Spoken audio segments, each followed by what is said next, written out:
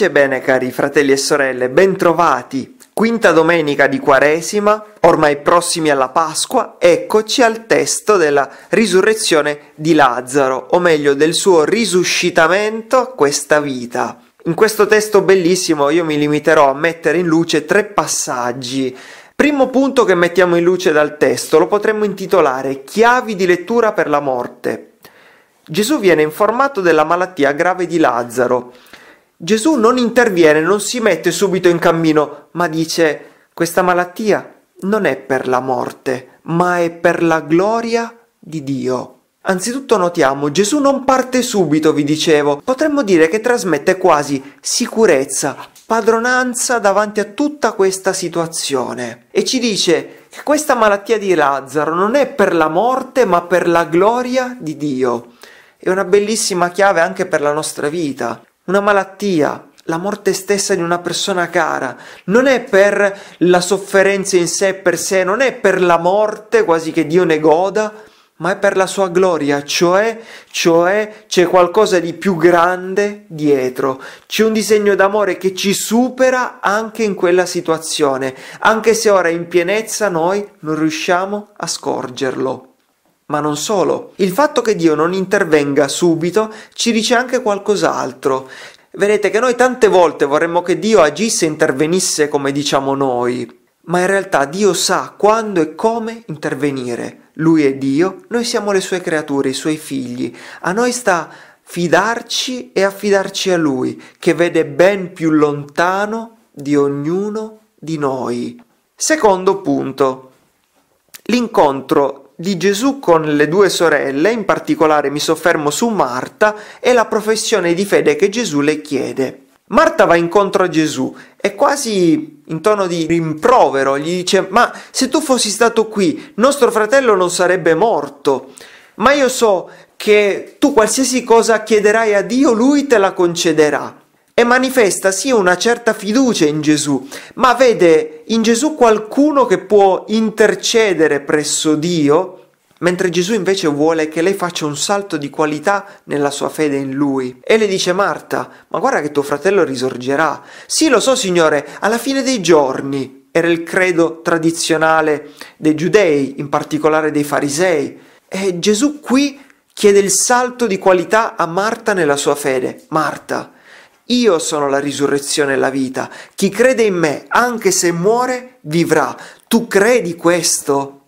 Guardate, questa è una frase centrale da inciderci nel cuore. Gesù dice, io sono la risurrezione e la vita, lui è la vita divina, è la vita eterna, è quella vita che vince la morte. E Gesù dice, chi crede in me, anche se muore, vivrà. E qui il di più, chi crede in me, chi vive unito a me, anche se attraversa sorella morte corporale, continuerà a vivere in me. Questo è il di più della fede cristiana. Noi non crediamo in una teoria, ma in una persona, in Dio, che si è fatto uomo, che è vivo, è risorto, è presente. Noi possiamo entrare e vivere in comunione con Lui. La comunione con Lui ci dà ora già la sua vita eterna in noi che ci farà anche vincere, superare il valico della morte. Questa è la meraviglia di credere in Gesù, il di più bellissimo che ci dà più gioia, più forza, più speranza. E Gesù dopo aver detto tutto ciò dice, ma tu credi questo? Tu credi che io sono tutto questo, sono io la risurrezione e la vita? E Marta allora professa la sua fede in Gesù quella fede decisiva che cambia radicalmente la qualità della vita e anche l'idea stessa della morte. Santa Teresina quando parlava della morte diceva non è la morte che mi coglie, ma è il mio Signore che mi viene incontro e diceva io non muoio, ma entro nella vita. Terzo e ultimo punto, Gesù va da Lazzaro ormai da quattro giorni nel sepolcro.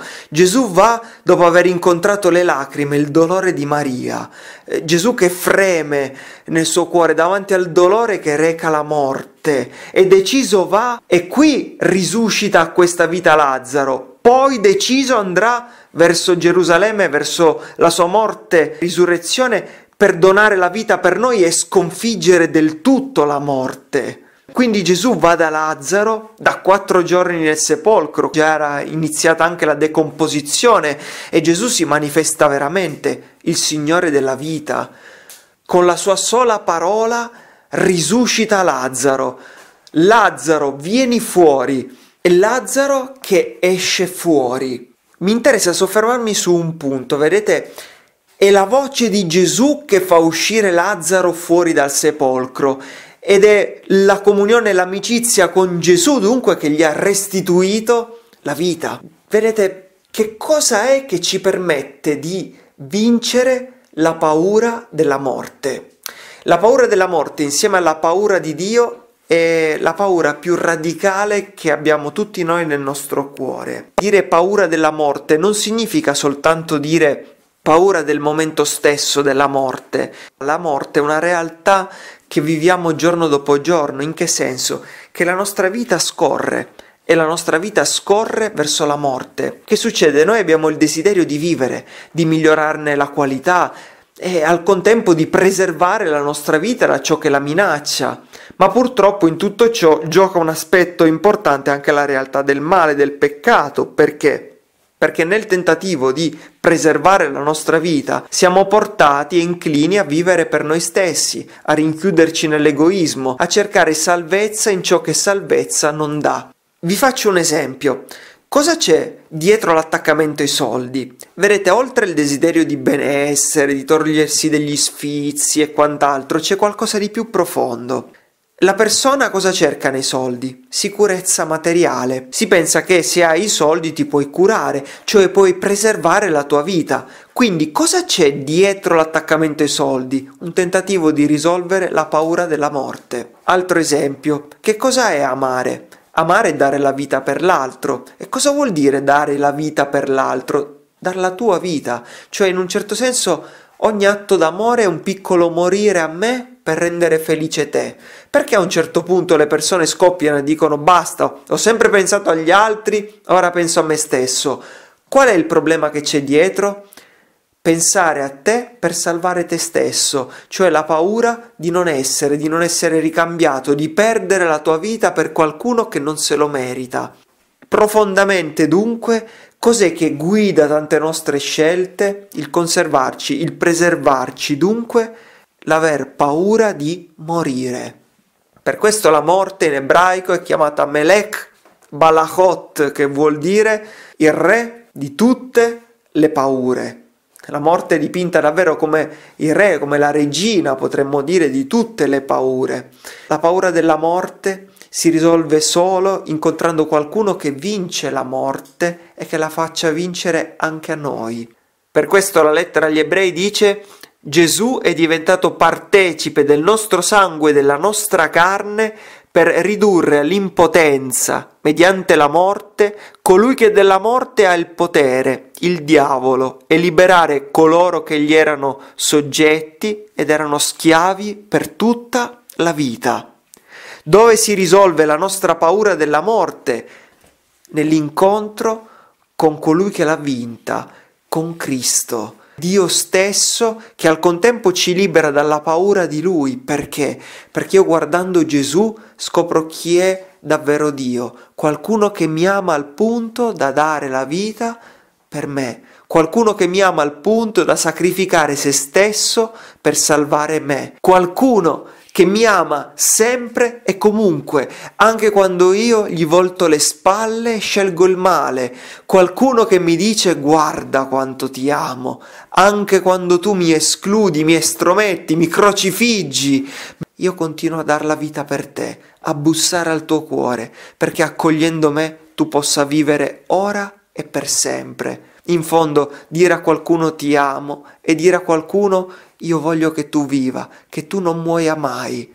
E c'è quel bellissimo racconto giudaico dell'angelo della morte che andò da Abramo. Abramo la vide e disse: Ma può forse un amico, rivolgendosi e indicando Dio, volere la morte del suo amico? disse indicando se stesso. E l'angelo della morte sorridendogli gli disse: Ma può forse l'amato rifiutare l'incontro con colui che lo ama? E Abramo disse: Eccomi, allora prendimi. Che Dio vi benedica, pace e bene a tutti.